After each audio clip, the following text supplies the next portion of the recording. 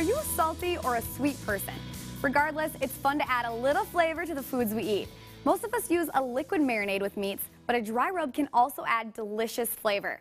Clark Casarella spends a lot of time in the kitchen cooking up tasty eats, so he's here to tell us why we should give dry rubs a try, and he's even going to show us how to make one of our own. Welcome, Clark. Thanks. Good to be back. So, when we talk about a dry rub, what exactly is this? It's generally just a mix of spices, sugar, and salt. Um, and it, it's kind of what you put on uh, anything that you're going to try to barbecue. You, you can even kind of roast and bake some things like this, but you just want a, a large flavor bomb to go right on, your, on, on the food that you're cooking. So, could we use a dry rub as seasoning?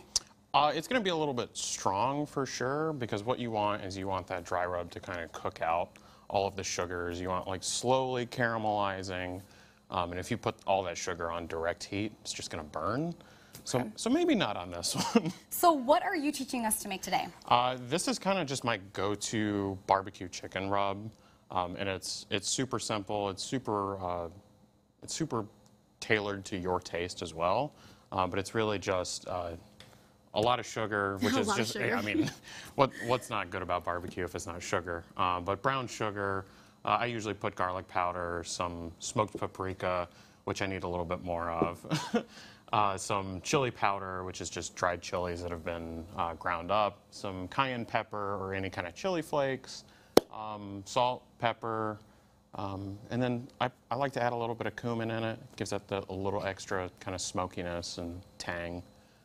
All right, well, let's put this together. Should I put these gloves on? Yeah, oh yeah. It, it's this is a hands-on kind of thing, the, and it's really great for whenever you're you know handling, um, you know, raw chicken, raw beef, anything. Yeah, you told me earlier that I would not want to touch this and then touch my eye. Yeah, al- also that, you know, pep- peppers are spicy, putting it on, um, generally not a good idea. So I'm just going to do one. Okay. Um, but what we're going to do is we're just going to grab some amount of dark brown sugar. Some amount. some amount, you know, like a small handful.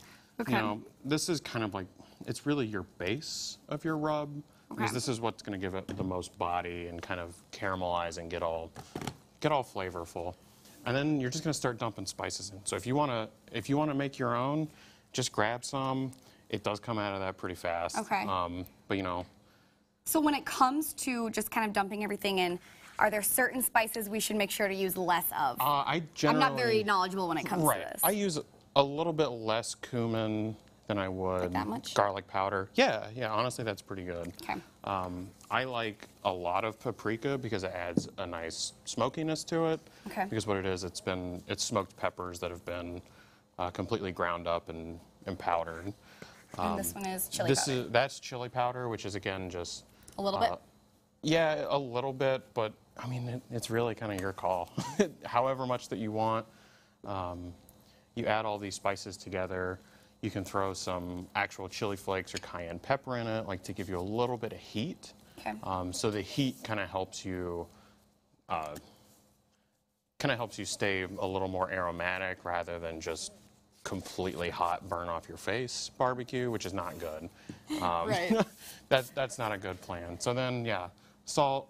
I like to throw in a little bit of cracked pepper.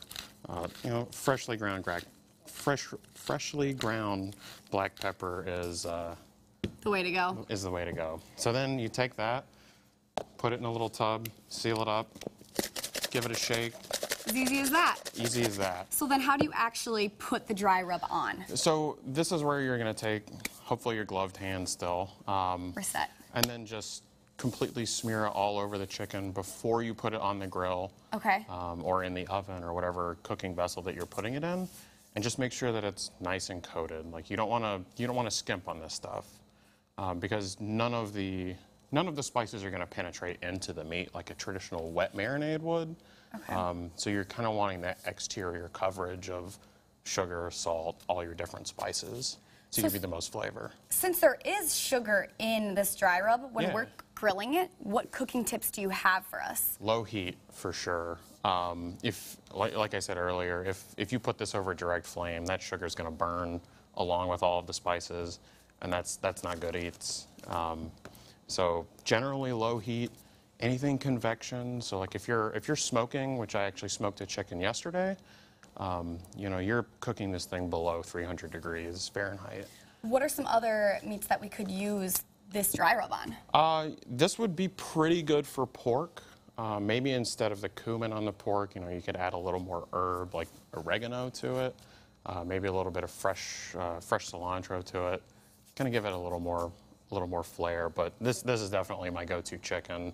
Um, if I were dealing with beef, I probably wouldn't use as much brown sugar. That would be a more salt, pepper, spice rub than anything. But the, I, I think the sugar goes great with, with chicken, honestly. How can I get the most out of my dry rub? Do you recommend doing a fresh batch every time? Um, you you can, but then you know if, if you go on Amazon and buy a bunch of uh, assorted size plastic containers, you can make a bunch of it ahead of time. Keep it airtight, and it'll basically last forever because Okay. it's really just sugar, salt, and spices. yeah.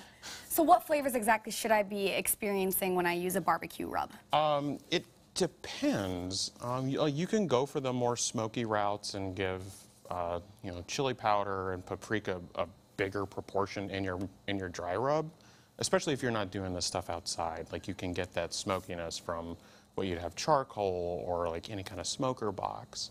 Uh, like some of your spices can uh, kind of make up that difference if you're just doing this in an oven environment rather than out on the grill. Um, but yeah, generally smoky, a little bit of little bit of heat, a little bit of salt. Um, I, I like sweetness, you know, it's, Yeah. it's sugar. Who doesn't So like do sugar? All right, well, thank you so much, Clark, Yeah. for bringing this in today and teaching us how to make a dry rub. yeah, thanks.